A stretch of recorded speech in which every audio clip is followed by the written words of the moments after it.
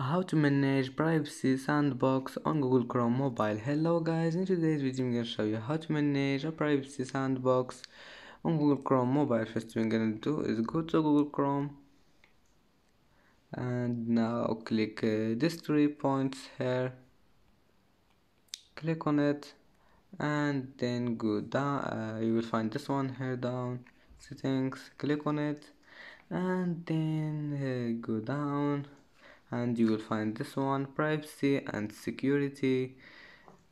And then click this one privacy sandbox.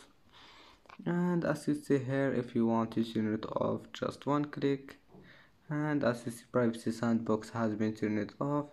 And if you want to turn it on again just click on it.